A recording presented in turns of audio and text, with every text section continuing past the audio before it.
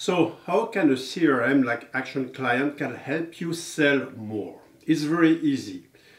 There is what we call a sales equation. The sales equations have three numbers. The number of contacts multiplied by your closing ratio multiplied by your average sales make the total sale.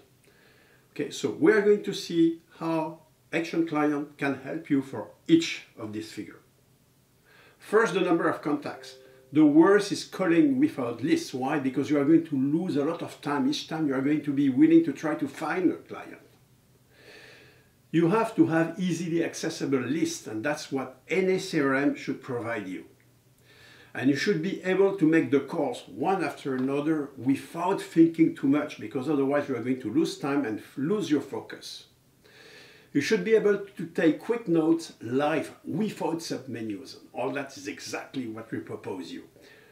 We click on the small arrows on the top right, toward the left or the right, and you go to the next client. That's it, or the next prospect. And uh, if you are using the computer, you can send an email right away without leaving the, the tool, just by clicking on the, on the mail, or if you are using your telephone, you can push on your telephone number and then you get in touch with the client. So this CRM is just made for you to help you sell more efficiently and to have more contacts, whether on the phone or face to face or on Teams or Zoom. Closing ratio now, and not ration, sorry. Accurate information, so you should have accurate information thanks to your CRM. You should have the knowledge of your products and services uh, very easily, the product and services that you sell to your clients. So that should help your closing rate because you are going to be able to determine which product and services you should use. You should have also the put in notes the motivation of your clients and your habits and his goals. Um, so all that is going to help you have the correct information to improve your closing ratio. For your average sales, it's uh, very simple. If you talk to a small client, you are going to make a small sale, okay? If you talk to a prospect with a small potential, you are going to, to make a small sale if you make one.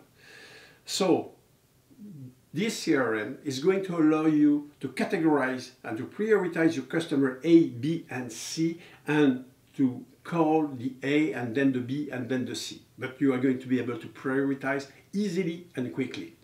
Same for the prospect.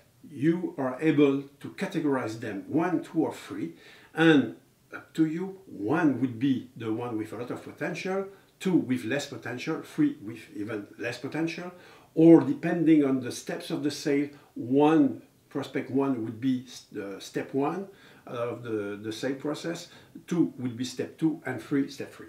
And that's it. So again, you increase the number of contacts, you improve your um, closing ratio, and you improve your average sales. With that, you are going to make the difference. So wish you a very good day and many a lot of sales.